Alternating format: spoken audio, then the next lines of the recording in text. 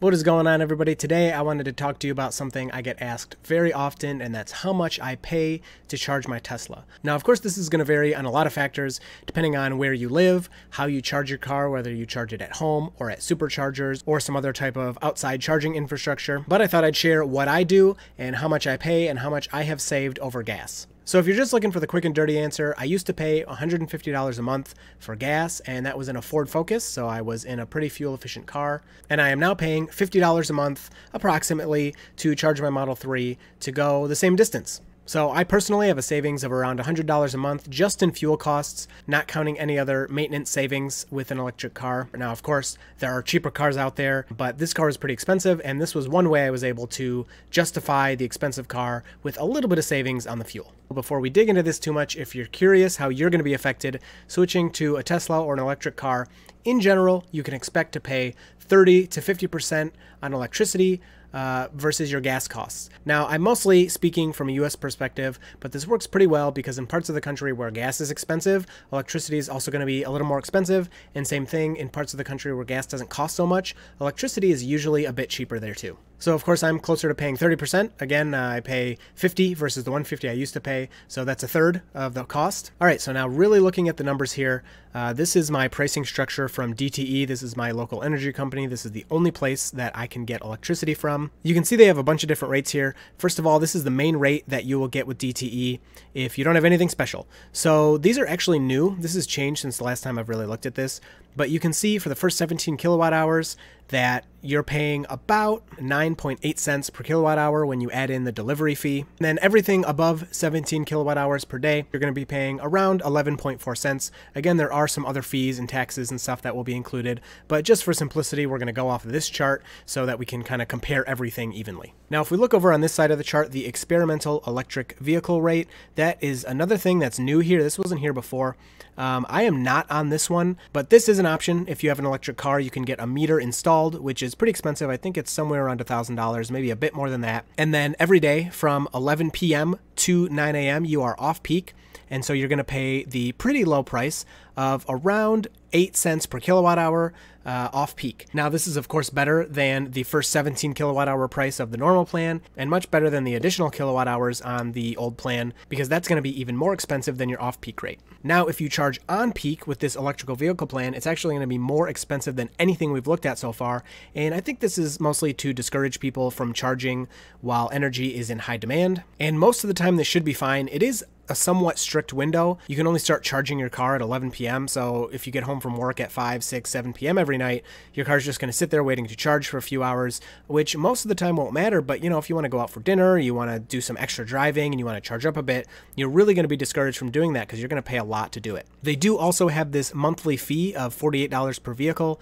Uh, that would actually work out pretty well for me. I would probably take that if I could. Um, it's not available anymore, and I also do not want to pay for the meter which is why I have the rate I do. Moving over to time of day rate, this affects your whole house, and pretty much anyone can request this. They did ask me why I wanted it when I called, so maybe they would restrict you for certain reasons, but I just told them I had an electric car and I didn't want to pay for a separate meter, and they were fine with that. So with this plan, I can just use the meter I already have. They don't have to change anything, they just change my rates, and you can see it depends on a few different factors here. We have time of year, so June through October, and then also November through May. So you can see here the June through October, the on-peak kilowatt hours are pretty expensive. You're looking at around 18 cents per kilowatt hour in the summer. And this is during the day, so this is 11 a.m. to 7 p.m. So your window of on-peak is a lot shorter than your window of on peak with the electric vehicle specific plan. The other thing that's cool here is if you augment some of your other behaviors, you can save even more money. So in my specific situation, our entire house is electric. We have geothermal heating and cooling, which a video is coming on that. Eventually, it just takes a lot of planning, so I haven't gotten to it yet. But the geothermal, as you can see over here on the chart, is on its own rate, so it's not really affected by these things. Our stove is electric, our washer and dryer is electric, so 100% of our house is electric. So by doing some special things, we can actually save save even more money by being on this plan because if you look at the off peak, at least for the summer, you're looking at closer to only 7 cents per kilowatt hour most of the time. Now, this is a really good price, And again, it kicks in all the way from 7 p.m. through 11 a.m. That entire time is off peak. So I have my car set to charge starting at 7 p.m. And then you can see in the winter months, the rates are generally cheaper. But in general, the on peak charges are always going to be more expensive than the standard plan that you'll get with the power company. And the off peak rates should be a good amount lower, if not dramatically lower, than your standard electricity plan. So with this time of day rate, I got to just keep my meter. I didn't have to pay a bunch of money for a new meter, and I can just plug my car in in a larger time window than the EV specific plan. And by doing this, I'm able to charge my car for a really decent price. Another way to look at your charging cost is to talk in your efficiency. So the rated efficiency of the Model 3 is around 240 watt hours per mile, which if we stick with the same units uh, that we were talking about earlier with the electric company, that would be 0.24 kilowatt hours per mile. And in the summer, I do see somewhere around there. Uh, it might be a little higher because I do a lot of highway driving. So maybe somewhere around 250 to 260 watt hours per mile. And in the winter, I am north of 300 watt hours per mile. So in the winter, I can expect to pay about 20 to 30% more for my electricity because I'm using 20 to 30% more electricity in the winter than I do in the summer. But at the same time, my electrical rates are cheaper in the winter with my time of day plan. So the difference doesn't work out to be all that much. All right, so if we look at one of my bills here, you can see this is the residential electric service. I have a separate meter for my geothermal. You can see off peak here is much higher than on peak and that is because of two reasons. One, of course, I charge my car during the off peak time. And number two, like I've said earlier, we've worked to change some of our habits so that we're doing more with our electricity during the off peak time than during the on peak time. So you can see the off-peak time here is right around one cent per kilowatt hour, and the on-peak is 12 times that, at a little over 12 cents per kilowatt hour.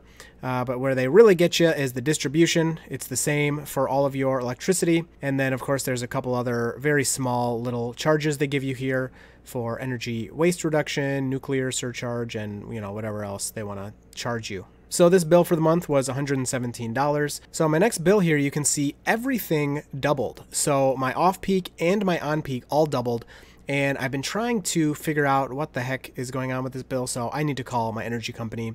But you can see here with the new uh, winter rates, it's a little less than one cent per kilowatt hour that I'm paying for the off-peak and of course it's much higher because that's when uh, like i said i charge my car and we do other things uh, but the distribution is the same price and that is where most of the cost is coming from that's $94 just for them to send that electricity, all of it, to the house. So this last electricity bill was a lot more expensive. That is not typical. Um, typically, my total electric bill is somewhere between 100 and $150 a month um, with about 50 of that being for my car. The last thing we need to talk about is supercharging. Because of the YouTube channel, I have a lot of referrals and all of our supercharging is free due to that. I've paid one time and I think it was like five bucks or two dollars or something.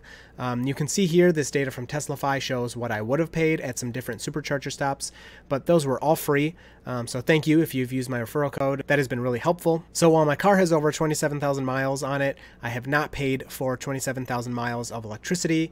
A lot of that was done on road trips. So we went to North Carolina and we went to New York. So that is a bit over 3,000 miles right there that none of the electricity was paid for. So that's a pretty huge savings, uh, especially compared to gas, but even just compared to paying at the supercharger, that's a pretty decent savings. So I know this can be a little dry, but uh, this is a question I get really often. So I wanted to discuss it. Let me know down in the comments what you pay for electricity. Are you charging at home? Do you charge at a charger outside of home? Do you use superchargers? Of course, the electricity cost is going to vary person to person, but the savings savings that you're getting over gas is going to be at least somewhat similar, and it should hopefully be pretty significant for you 50%, if not a greater savings than that, which a little bit can kind of help justify a more expensive car. And welcome to the end of the video. If you're new here at the end of all of my videos, I answer a question from the comments.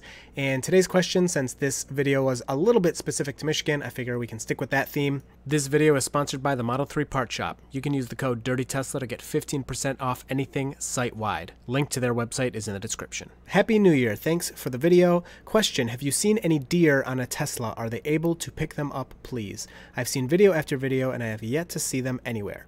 Meaning, will deer actually show up on Tesla dash screen. So the car is definitely able to detect a deer. It's a large enough uh, object, if you want to call it that, that the Tesla knows it's there. It will not display deer on the screen, but there have been a couple videos of Teslas being behind other animals, like I think there was one of an ox and one of a horse, and it displayed those on the display as a person. So close enough. Um, there's also evidence from Green the Only on Twitter that dogs are now categorized as pedestrians and they show up on the screen as people. And other people have seen this. Um, so animals are detected by the car, they will show up. Now, will your car actually stop for them? Um, it can, and hopefully it will, but it's not something you want to rely on. But it is a pretty cool backup, uh, just in case that I don't think any other cars have. The Tesla may stop for deer if one jumps out in front of you, or at least will help you apply the brakes. I have encountered one deer while driving my car, and I was on autopilot, but I hit the brake before the deer was even in the road, so I'm not sure if autopilot would have responded. It didn't respond before I did anyway. Thanks for watching. I hope you enjoyed this video. I look forward to talking to you down in the comments below, and I will see you in the next video.